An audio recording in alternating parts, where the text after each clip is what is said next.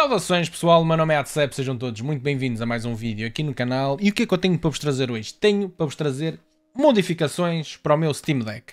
Este é um modelo LCD de 256GB, comprei uh, um indivíduo no OLX por 270 euros, achei que foi um preço muito bom. E, um, e o Steam Deck tem sido atualmente a minha plataforma principal para videojogos. Isto porque eu tenho um backlog enorme de indies e isto para jogar indies é um espetáculo. E também dá para jogar muito bem jogos AAA, obviamente que as configurações têm que estar no mínimo. Mas uh, o que eu noto é que 256 GB é pouco. E uh, eu quero fazer upgrade para 1 TB de memória. Este é exatamente o mesmo modelo que já vem com o Steam Deck só que em vez de ser um NVMe de 256 GB, é um NVMe de 1 TB. Para além disso, quero baixar a temperatura ou a, ve a velocidade da ventoinha com Honeywell PTM 7950, que eu já utilizei isto no meu portátil e trouxe uh, vantagens. Gostava de experimentar numa placa gráfica, só que ainda não tive oportunidade de o fazer mas fiquei muito satisfeito com os resultados disto no, uh, no meu portátil e, um, e vou também fazer isso. Para baixar ainda mais a temperatura ou as rotações da ventoinha, e era uma coisa que eu também já queria fazer, até porque gosto deste género de coisas, é um backplate transparente para o Steam Deck. Este é da marca JSOX Transparent Backplate for Steam Deck, que ele já está aqui fora. É este backplate. Só que o que é que tem de vantagens este backplate? Para além de trazer uns botões uh, traseiros mais ergonómicos, que no Steam Deck temos que abraçar melhor a consola para, para aceder a estes botões, assim acho que a partida vai ser, um, vai ser um pouco mais confortável, mas isso também é uma questão de testar. Pronto, para além destes botões, tem também esta entrada extra de ar para a ventoinha, para, para entrar mais ar fresco para a ventoinha, se bem que vai continuar a entrar ar fresco a partir daqui. Aliás, tem que entrar ar fresco também a partir daqui para refrigerar os outros componentes. E para além disso, tem esta chapinha extra aqui que vai fazer contacto através deste thermalpad para a chapinha que tem dentro do Steam Deck, mas isso vocês já vão ver. Portanto, vamos proceder a esses mods e, um, e vamos ver se isto faz uh, diferença ou não. Não sei. Vamos a ver, amigos. Uh, tenho algumas expectativas, não muito altas, mas tenho algumas expectativas. Portanto, vamos a isso, tá bom? Tá bom. Antes de iniciar, é necessário desligar a consola. Não será também difícil de perceber que para fazermos estes modos é preciso retirar a backplate do Steam Deck. Para isso, o ideal é colocar o Steam Deck na sua bolsa transportadora para evitar fazer uh, demasiada pressão nos analógicos. Aqui existem 8 parafusos que precisamos de tirar. Os mais exteriores são maiores e os mais centrais são menores, portanto não há como enganar quando for para voltar a, a montar a consola.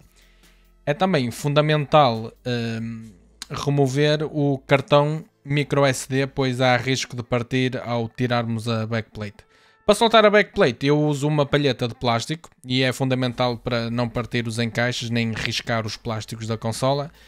Agora, com a backplate fora, temos que retirar esta chapa protetora e dissipadora de calor para acedermos ao SSD e ao cooler. Ela está segura apenas com dois parafusos pequenininhos, portanto não percam. Antes de fazer, também, seja o que for, é muito importante desligar a bateria. É um cabo relativamente sensível, portanto é preciso ter cuidado ao retirar.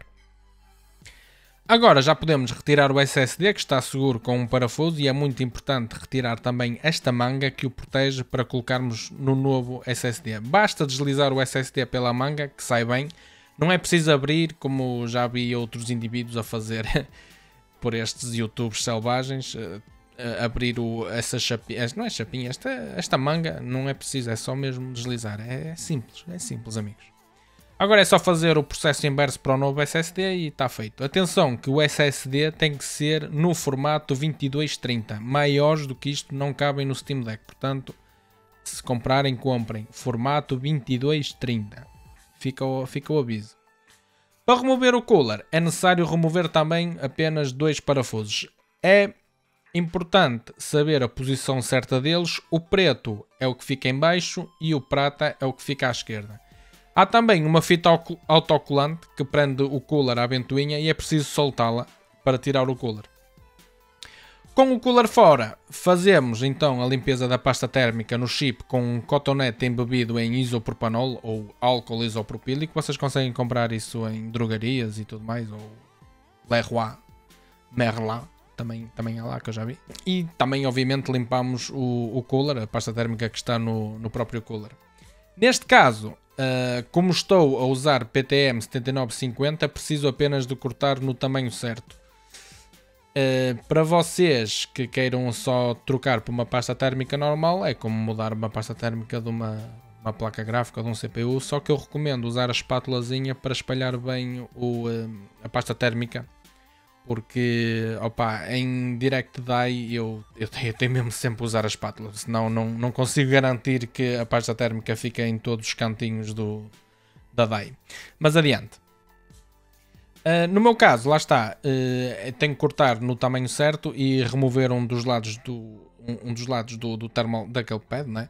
Uh, os plásticos protetores e aplicar com cuidado na DAI e massajar o pad no chip, lá está, e com cuidado retirar a outra face. Isto parece fácil, Uh, mais fácil do que é na verdade, porque o pad fica mais colado ao plástico do que ao chip, mas quando descola começa a descolar direitinho e não se preocupem se ficar com bolhas, porque depois a pressão uh, a, bolha sai e também com a temperatura as bolhas uh, saem, portanto não se, não se preocupem com, com isso.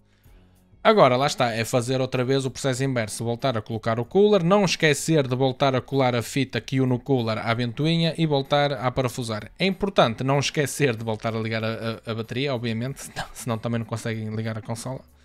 E também recolocar a, a chapa protetora e dissipadora pois ela tem thermal pads que ajudam na dissipação de outros componentes importantes do Steam Deck. Falta apenas, lá está, voltar a montar a backplate e está feito. Como fizemos upgrade ao SSD, precisamos de instalar outra vez o Steam Deck. Para isso é preciso fazer o download da imagem de recuperação que está disponível de forma oficial no site da Steam.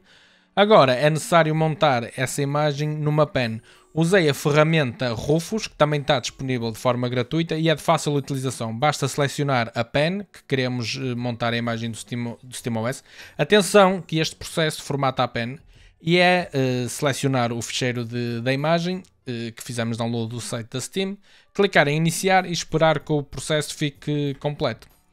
Agora é preciso um adaptador USB, USB Type-C para USB-A para ligarmos a pen ao Steam Deck e apertar em simultâneo o botão de baixar o volume e de power. Isto vai ligar a consola em modo de seleção de boot drive, selecionamos a pen e é só aguardar que o SteamOS faça boot. Quando isto acontecer, que não deverá, não, não, não deverá demorar mais que 2 minutos, selecionamos a opção Reimage Steam Deck.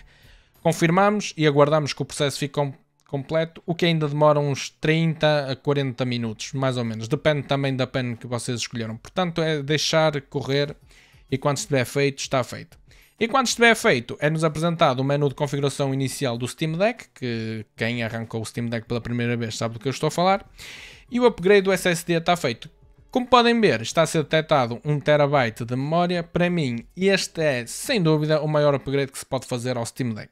Para terminar, vamos ver uh, o, que, o que a alteração da interface térmica, ou seja, a mudança de pasta térmica original para PTM 7950 e posterior mudança de backplate trouxeram de melhorias à dissipação de calor. Eu usei o Assassin's Creed Syndicate como teste, pois é um jogo que puxa pelo Steam Deck a sério.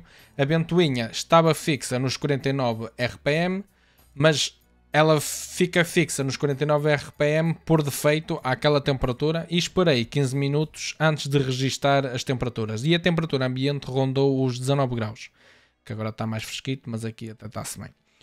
Em stock, a GPU rondou os 75 graus centígrados, com registro visual, não é? Porque não há nenhuma ferramenta que, acho eu, que registre as temperaturas. Uh, lá está, com o registro visual máximo de 77 graus centígrados e o CPU rondou os 79 graus com um pico para 82 graus centígrados. Com a mudança para a PTM 7950 não notei alterações de temperatura na GPU, mas no CPU houve uma, uma redução de temperatura em 2 graus para os 77 graus com um pico máximo que foi de 79 graus. Nota-se lá está no CPU uma pequena melhoria, mas nada que na minha opinião justifique ou compense o esforço. Agora toca a voltar a desmontar o Steam Deck para colocar a nova backplate com, lá está, esta melhor entrada de ar e um dissipador extra de calor. E o processo é exatamente o mesmo que anteriormente, porém é preciso remover o plástico protetor do thermal pad que vem com a nova backplate e está feito. Este modo é super simples de fazer e não o acho muito dispendioso. Comprei no site da JSOX por 22 euros, já com o IVA e o envio incluídos, portanto não achei de todo caro. E bem, isto eh, aqui já melhorou um bom pedaço. Com os RPMs fixos a 4900 para podermos comparar aos, uh, ao stock e também com a alteração da pasta térmica, a temperatura baixou para os 65 graus na GPU com um pico máximo para 66, portanto rondava sempre os 65 e os 66, e a temperatura do CPU baixou para mais ou menos 68 graus com picos pós 70 graus, ou seja, ronda mais ou menos os 67 e 70 graus. E se colocarmos a ventoinha no modo automático, ela baixa para os 4100 RPMs, mas a temperatura sobe para os 70 graus na GPU e 73 graus no CPU. Este é o melhor upgrade que se pode fazer depois do SSD. Alta diferença. E pronto, amigos. Está feito. Resumidamente, o que é que eu recomendo a fazer no vosso Steam Deck caso o tenham? É dar like neste vídeo, obviamente, subscrever o canal, também obviamente, mas depois disso, o que eu recomendo é mesmo adquirir um SSD de 1TB caso ainda não tenham feito. Isso é o maior upgrade que podem fazer ao vosso Steam Deck porque aumenta imenso, imenso, imenso a quantidade de jogos que vocês conseguem ter no vosso Steam Deck. Eu tinha 4 ou 5 instalados, já estava cheio. E agora tenho 4 e 5 e ainda tenho muito espaço para pôr jogos ainda mais eh, pesados. E o 4 e 5 eu estou a incluir o Fallout 76 e o Assassin's Creed Syndicate. Esse é o upgrade mais importante que vocês podem fazer a um Steam Deck se não tiverem já um, um Steam Deck de 1TB. E este upgrade de mudar a backplate só existem transparentes. Existe um modelo também um, com RGB, só que não. Mas eu optei por este modelo cristal, transparente. E isto sim melhora imenso a temperatura do vosso Steam Deck. Em contrapartida, aumenta um pouco aqui a temperatura, mas nós como jogamos assim, é preciso esticar um pouco os dedos para sentir isto aqui, portanto, pronto. E esta backplate tem também, lá está, a vantagem de trazer botões extra, caso queiramos mudar hum, dos originais para, para este. E atenção, que não é só estes que traz, também traz uns outros para um outro tipo de grip. Eu para já vou andar com estes, sou um bocado clicky, não sei se gosto muito, Uh, mas vou andar um bocado com estes e se vi que não gosto, ponho os originais ou experimento os outros, não sei, tenho que ver. E pronto, amiguinhos, é este o vídeo que eu tenho para vos trazer. Espero que tenham gostado. Se sim, não se esqueçam de deixar o like. Subscrevam o canal se ainda não fizeram. E também sigam-me na Twitch, porque eu tenho feito streams praticamente todos os dias da semana. A jogar uns joguinhos que tenho em backlog. E, uh, e também me sigam no, no YouTube, porque também faço em simultâneo para a Twitch e para o YouTube, portanto vejam-me onde, onde gostarem mais. E é isso, meus amigos. Um grande abraço para todos vocês, fiquem todos muito bem e vamos nos vendo por aí. Tchauzinho, amigos, que eu agora vou jogar Steam Deck, não é, mano? Vá, amigos, tudo bom. Tchauzinho.